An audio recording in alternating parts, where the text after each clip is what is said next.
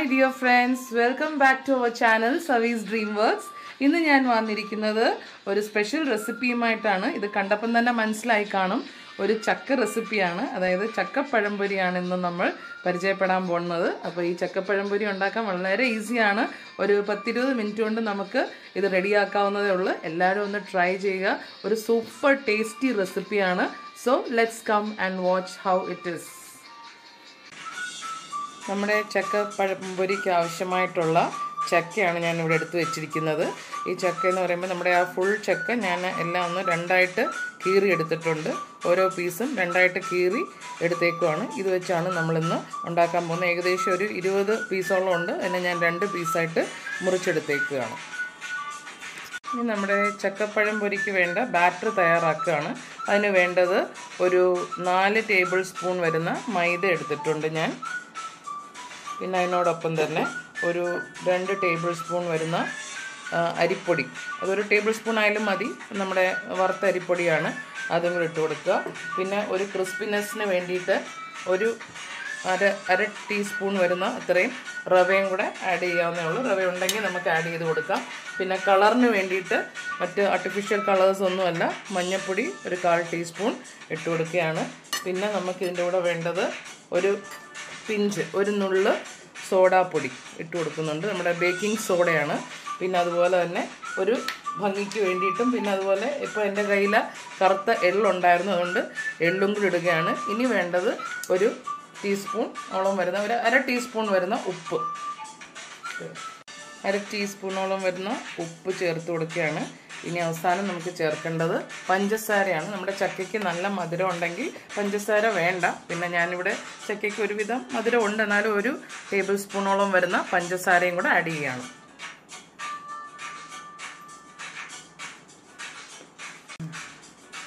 ഇനി ഇത് നമുക്ക് നന്നായിട്ട് മിക്സ് ചെയ്തെടുക്കാം. അതായത് നമ്മുടെ സാധാരണ കോൾഡ് വാട്ടറിനകത്ത് ഇത് മിക്സ് ചെയ്ത് എടുക്കാം. അപ്പം നമ്മൾ വെള്ളം ഒഴിച്ചു കൊടുക്കുമ്പോൾ ശ്രദ്ധിക്കുക. കുറേശ്ശെ കുറേശ്ശെ ഒഴിച്ചു കൊടുക്കുക. കാരണം അധികം വെള്ളമായാൽ ഇതങ്ങ് പോകും നമ്മുടെ ഈ ബാറ്റർ ഉണ്ട് കുറച്ച് കുറച്ച് ഒഴിച്ച് നമ്മൾ ഏത്തക്ക അപ്പത്തിനൊക്കെ ചെയ്യുന്ന പോലെ തന്നെ കുറേശ്ശെ ഒന്ന് ഒഴിച്ച് മിക്സ് ചെയ്ത് കൊടുക്കേണ്ടതാണ്. നമ്മുടെ ഈ മിക്സ് റെഡിയാക്കിയിട്ടുണ്ട് ഏകദേശം ഒരു അരക്കപ്പ് വെള്ളത്തിന്റെ ആവശ്യമേ വന്നുള്ളൂ. അപ്പോൾ അതനുസരിച്ച് നമ്മൾ വെള്ളം ആഡ് ചെയ്യുമ്പോൾ ശ്രദ്ധിക്കുക. ഒരുപാട് അങ്ങ് നീട്ടി പോരുത്.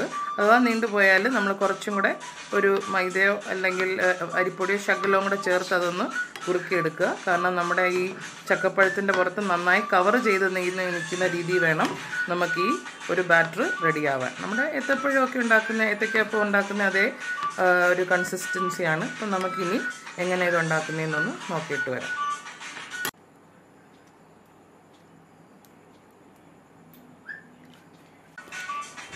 നമ്മുടെ ചക്ക ഇനി നമുക്ക് ഫ്രൈ ചെയ്യാം.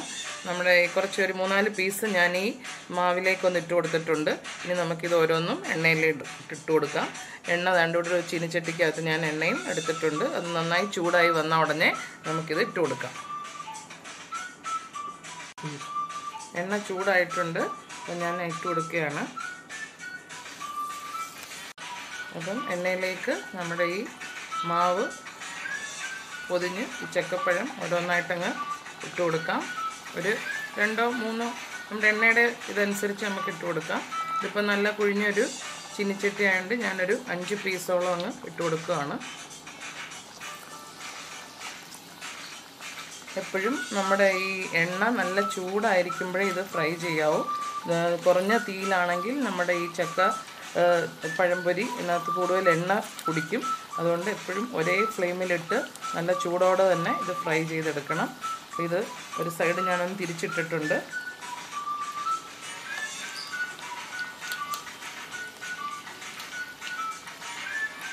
കുട്ടികൾക്കൊക്കെ ഇതൊരു ഇഷ്ടപ്പെട്ട പലഹാരം തന്നെ ആയിരിക്കും.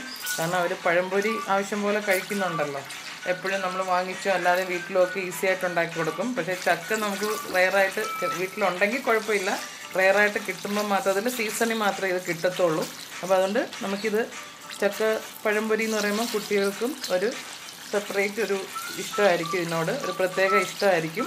അപ്പോൾ അതുകൊണ്ട് നമുക്കിതൊന്ന് എല്ലാവരും ഒന്ന് ട്രൈ ചെയ്ത് നോക്കണം. പെട്ടെന്ന് ഉണ്ടാക്കാം. ഒരു കൂടിപ്പോയാൽ പത്തോ പതിനഞ്ചോ മിനിറ്റ് ഈ മാവ് റെഡിയാക്കുന്ന ഒരു താമസം മാത്രമേ ഉള്ളൂ. ഉണ്ട്. വീട്ടിൽ ചക്ക പഴം പഴുത്തുണ്ടെങ്കിൽ എല്ലാവരും ഇതൊന്ന് ട്രൈ ചെയ്ത് നോക്കുക. നമ്മുടെ ചക്ക കോരാൻ പരുവായി. നോക്കി നല്ല ക്രിസ്പി ആയിട്ട് നല്ല വീർത്ത് വന്നിട്ടുണ്ട്. അപ്പോൾ ഇത് നല്ല ടേസ്റ്റിയാണ് അപ്പോൾ എല്ലാവരും ഒന്ന് ട്രൈ ചെയ്യണം. ഇത് നമ്മുടെ ഫസ്റ്റ് ട്രിപ്പ് ഞാൻ കോരിയെടുത്തു ഇനി അടുത്ത ഇടാം. ഒരു കിച്ചൺ ടിഷ്യൂലോട്ട് കോരി ഇട്ട് കഴിഞ്ഞാൽ നമ്മുടെ എന്തെങ്കിലും അധികം എണ്ണ ഉണ്ടെങ്കിൽ എണ്ണയൊന്നും അധികം ആയിട്ടില്ല. അപ്പോൾ ഉണ്ടെങ്കിൽ അത് അബ്സോർബ് ചെയ്തെടുത്തോളൂ. നമ്മുടെ ചക്കപ്പഴംപൊരി ഇവിടെ റെഡിയായി വന്നിട്ടുണ്ട്. വളരെ ക്രിസ്പിയാണ് നല്ല ടേസ്റ്റിയാണ്. അപ്പം എല്ലാവരും ഒന്ന് ട്രൈ ചെയ്ത് നോക്കണം. പിന്നെ ഒരു കാര്യം പ്രത്യേകം ശ്രദ്ധിക്കണം. ഇതിന് വരിക്കച്ചക്ക മാത്രമേ എടുക്കാവൂ. കുഴച്ചക്ക എടുത്തു കഴിഞ്ഞാൽ ആകെ കുഴഞ്ഞു പോവും. അതുകൊണ്ട് വരിക്കച്ചക്കപ്പഴം മാത്രമേ ഇതിന് ഉപയോഗിക്കാവൂ. അതുപോലെ എല്ലാവരും ഈ രീതിയിൽ ഇതൊന്ന് ട്രൈ ചെയ്ത് നോക്കുക. അവരവരുടെ ഫീഡ്ബാക്ക്സ് എന്നെ അറിയിപ്പിക്കുക. എന്റെ കമന്റ് ബോക്സിലേക്ക് നിങ്ങളുടെ സംശയങ്ങളും എല്ലാം എഴുതി എനിക്ക് അയക്കാവുന്നതാണ്. അതുപോലെ ഇതുവരെയും ഈ ചാനൽ സബ്സ്ക്രൈബ് ചെയ്യാതെ ആരെങ്കിലും കാണുന്നുണ്ടെങ്കിൽ ദയവായി എനി എന്റെ ചാനലൊന്ന് സബ്സ്ക്രൈബ് ചെയ്യുക. ഒപ്പം കാണുന്ന ബെൽ ബട്ടൺ ഒന്ന് പ്രസ് ചെയ്ത് ഓൾ എന്ന ഓപ്ഷനും കൂടെ ക്ലിക്ക് ചെയ്താൽ ഞാനിടുന്ന ഫർദർ വീഡിയോസ് എല്ലാം നിങ്ങൾക്ക് നോട്ടിഫിക്കേഷനായി ലഭിക്കുന്നതാണ്. So until I come back with another video bye stay healthy stay safe